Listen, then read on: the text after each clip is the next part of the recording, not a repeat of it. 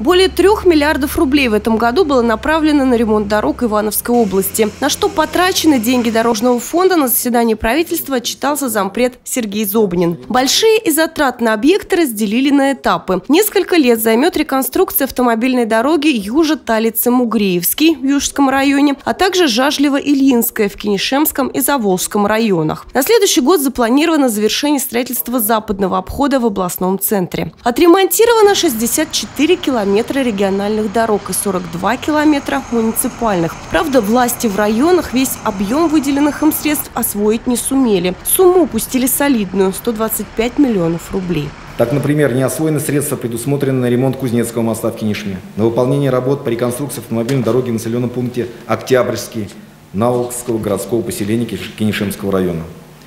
В целях повышения эффективности использования муниципалитетом средств субсидий предлагаю воспользоваться практикой федеральных органов по работе с регионами. В 2018 году предусмотреть меры за неиспользование в полном объеме средств субсидий. Активнее внедрять в дорожную схему современные механизмы финансирования. Такую задачу Станислав Воскресенский поставил перед своей командой. Докладчики, в свою очередь, подчеркнули необходимость эффективнее расходовать средства имеющиеся. Звучало, что расходы в дорожной сфере непрозрачны, траты необоснованно завышены. А картина такова. В 2012-м один километр дороги стоил 6 миллионов рублей. В 2017-м аналогично аналогичный участок обходился уже почти в 10 миллионов рублей. Приняли постановление правительства вчера а, о введении а, расширенного банковского сопровождения всех государственных расходов на дорожное строительство за счет дорожного фонда Ивановской области.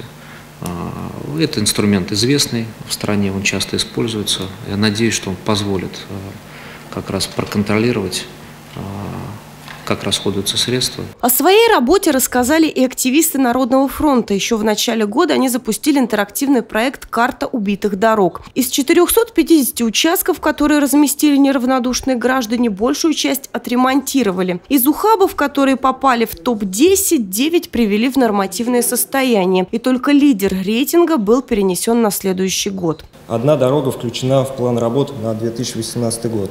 Мы просим обратить внимание на эту дорогу, потому что она была лидером Какая голосования. Дорога? Это дорога, э, дорога к деревне Белоусиха. Она протяженностью более трех, трех километров отсутствует полностью и просим обратить внимание, что эта дорога была отремонтирована. А еще представитель Народного фронта рассказал Станиславу Воскресенскому о бездорожье в деревне Калачева Ивановского района. Многодетные семьи получили там участки, выстроили дома, а проехать к ним не могут. Наш телеканал еще летом прошлого года обращал внимание на то, что ни у скорых, ни у пожарных доступа туда нет. Елена Белова, Денис Денисов, РТВ Иваново.